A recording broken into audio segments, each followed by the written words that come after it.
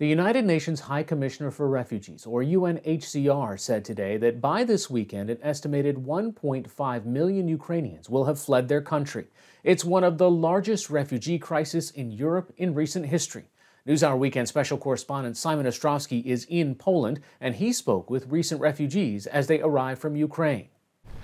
This usually quiet corner of rural southeastern Poland has been turned into a bustling hub for refugees from Ukraine looking for shelter and safety.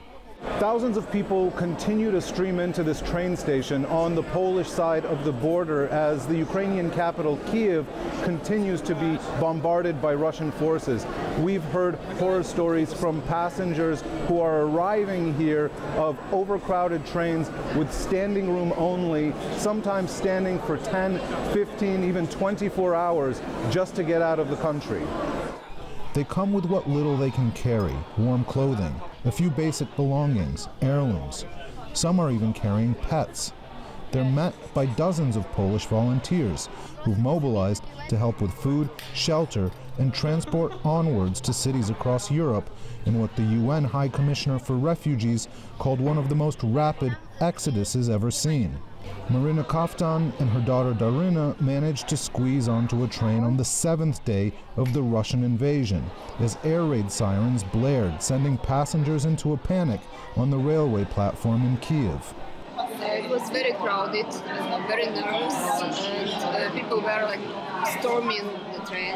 So we just ran with the kids and jam ourselves inside the train. A lot of people were standing for 10 hours.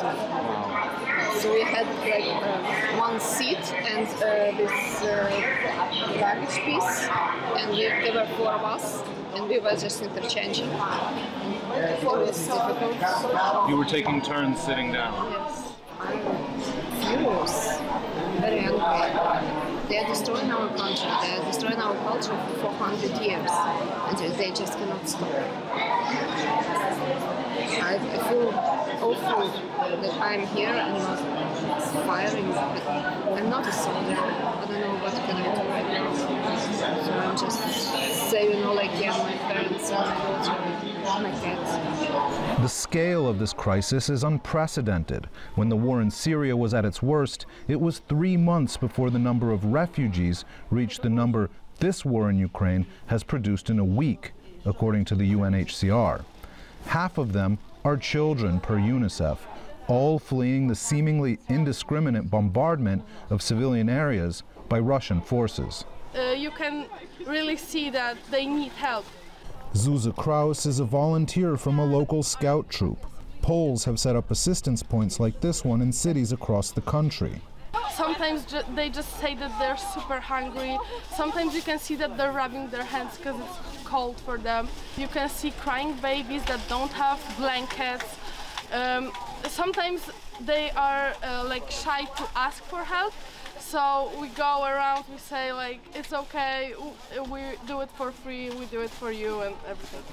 Valeria Litvin has just come across the border by foot with her mother and sister. In my neighborhood, it was uh, like uh, being more and more loud. Uh, and the last latest four days, actually, uh, four days I spent in the bomb shelter. I keep um, telling myself that I should believe that this conflict, this war, will end the nearest future. In the meantime, they plan to head to Warsaw to stay temporarily with friends. We're going to see whether we, we can somehow earn our money here or uh, well, well, what should we do next? Because we are now at a loss, actually, with the situation and with our being abroad. No one knows when it'll be safe to return. I asked Litvin if she thought going back would even be possible in the event of a Russian takeover of the Ukrainian capital. No, I will rather I would rather struggle from someplace else with them because the regime Uh, they are completely, well, they, they stand apart from all the democracy values that you know and I know. It's the regime that uh, suffocates its citizens. It's like going back into the USSR, and the USSR is in its worst form with a total deficit, total propaganda, total brainwash. Not every Ukrainian at the train station is seeking to flee Ukraine. There's an extraordinarily long line of people waiting to get on a train that's actually going back into Ukraine. And a lot of them are men of military age. They know that if they go back inside, they won't be able to get out because the Ukrainian authorities are stopping men from the ages of 18 to 60 from exiting the country. Yaroslav Filimonov is an HR manager who was traveling abroad when fighting broke out in his home city. I left my family in Ukraine. Uh, I was on a business trip in Dubai, so I should come back. At first, it's my family, and the second, it's my country. My country is on fire now, so I should be there. No one except us. That's the reason. So you are ready to fight? Of course, everyone in Ukraine ready to fight. There are no any flowers for occupants. There are just cocktails, like uh, cocktails Molotov. Just fire, nothing else. So many people are leaving Ukraine right now. Why don't you want your wife and daughters to leave too? Ukraine is our country.